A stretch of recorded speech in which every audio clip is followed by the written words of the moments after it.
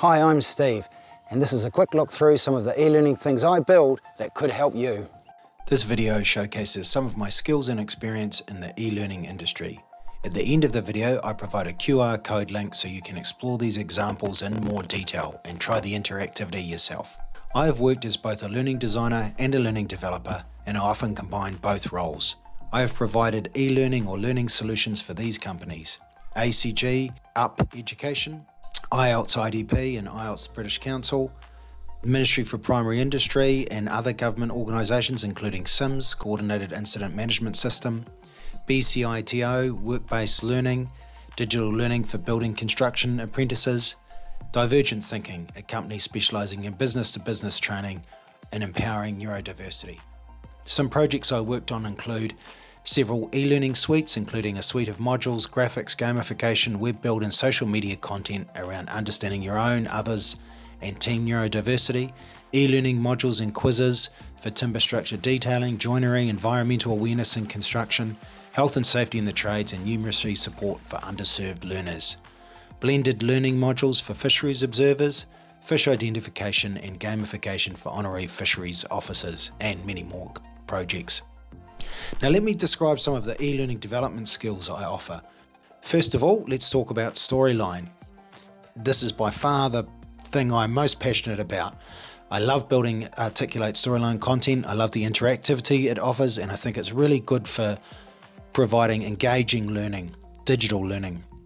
Here are a few examples, but because Storyline's about interactivity, please have a go at the QR code or the link uh, associated with this and you can find out more examples and have a go yourself. For this rounding module, this was a very complicated digital build about a simple topic.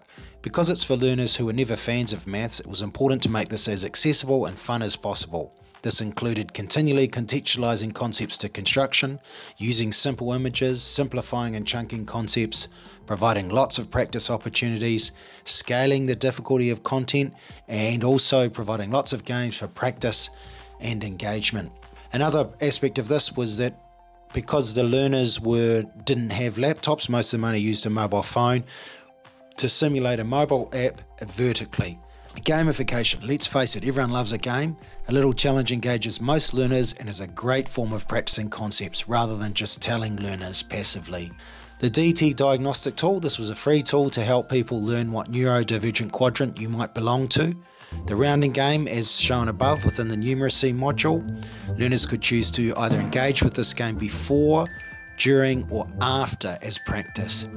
Fish identification game, a huge part of an honorary fishery officer role is to be able to quickly identify a wide range of fin and shellfish. What better way to practice this than with an identification game? The pest plant identification game, a similar concept where learners had to guess the pest plants that closely resembled native plants. Feedback was provided after each level and reinforced as the game progressed. I also like to use storyline and graphics together to build interactive infographics and other blocks within Rise. To explain in international interactions, to explain uh, processes, for example, uh, how to use a gimbal, the do's and don'ts, to provide interactive course overviews for the fisheries observers, with simple motion graphics and interact interactions to explain the ELISA test process and using Storyline to engage learners to consider and write about potential health and safety risks and controls. RISE courses. Now everyone, most e-learning designers now build RISE courses. It's industry standard, but what I think I offer is the ability to add really engaging multimedia material and interactivity within these RISE courses. I've shown you some before with Storyline, but another thing I like to use is uh, multimedia software like the Adobe Suite, Video, Camtasia, um, Vyond, Video Scribe, other online so video software, illustrations in Illustrator um, or 3D illustrations in SketchUp, and especially gamification to bring learning to life and engage your learner audience. One aspect I focus on in RISE is to build narrative scenarios or branching scenarios within RISE modules. There's lots of ways I do this, and I've given you a few examples in here. To make any course jump, you always need good graphics and multimedia content. Our learners now expect this with any digital tools. things like memes, GIFs, motion graphics. These are all things that I love to create. And here are a few examples of some GIFs and motion graphics I've created. So, Anton, we're talking to all these amazing businesses, mm. and they're asking me what are the benefits of working with us. What would you say?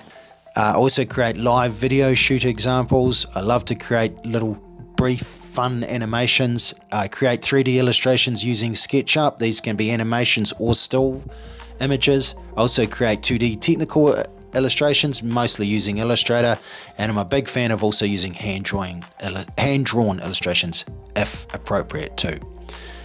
Final thought from me: let me help you elevate your e-learning game. Let's create engaging, on-the-go e-learning solutions. Here's my QR code. Have a click and try and engage with some of these e-learning samples now.